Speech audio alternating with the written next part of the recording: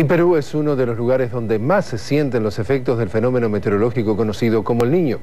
El siguiente reportaje es parte de nuestra serie especial sobre ese fenómeno. Nuevamente, Harry Sweetbeck nos informa.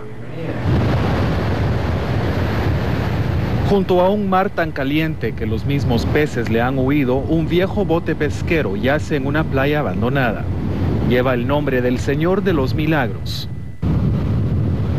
En estos tiempos, eso es justamente lo que muchos pescadores en las costas del norte peruano están esperando, un milagro. La corriente del Niño ha hecho que los peces emigren hacia el sur buscando aguas más frías. La merluza y otras especies de peces comestibles han desaparecido del lugar. Y han venido temprano de pesca, pero... Nazario Quesas es uno de miles de pescadores que ya no tienen que pescar.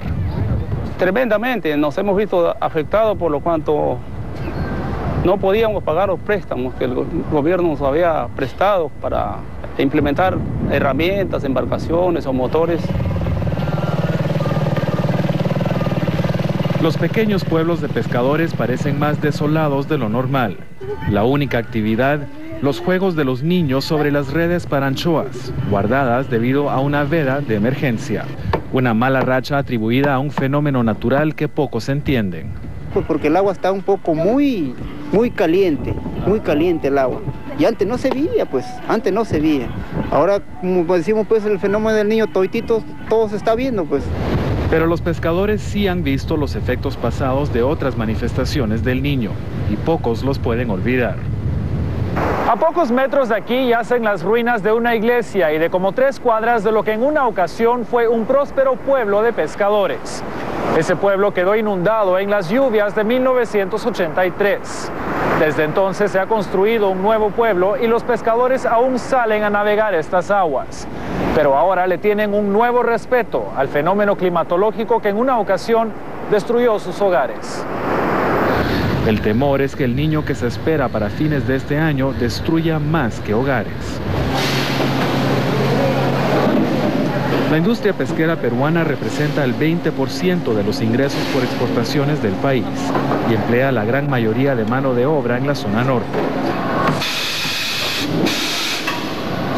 Desde que comenzaron a calentarse las aguas en marzo, las fábricas están trabajando a un promedio de 40% por debajo de su capacidad. Solo han podido seguir operando porque importan su materia prima de puertos localizados a 500 kilómetros de distancia. En algunas ciudades el desempleo ha superado el 75%, pero todos los sectores económicos han sufrido. El comercio depende de la industria. Hay una falta de liquidez total en, las empresas. Y eso se ve también con, con todos los comercios. Todo está atrasado en pagos. El sentimiento de que Perú está en el epicentro de una potencial calamidad natural es común en todo el país. Los efectos económicos ya se hicieron sentir, pero las consecuencias más dramáticas aún están por verse. Se reforzó algo posteriormente. Eulogio Palacios es el alcalde de la comunidad de Chulucanas. En el verano el río del lugar está seco, pero cuando fluyen las aguas de los cerros se convierte en una peligrosa corriente destructiva.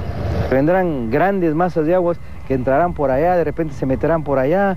En realidad los ríos perderán indudablemente sus cauces, tomarán las aguas totalmente descontroladas, locas, saldrán por aquí, saldrán por allá y todo será, digamos, un caos y todo será una anarquía. El alcalde sabe bien lo que dice. En 1983 vio cómo su pueblo fue destruido por las lluvias provocadas por el niño.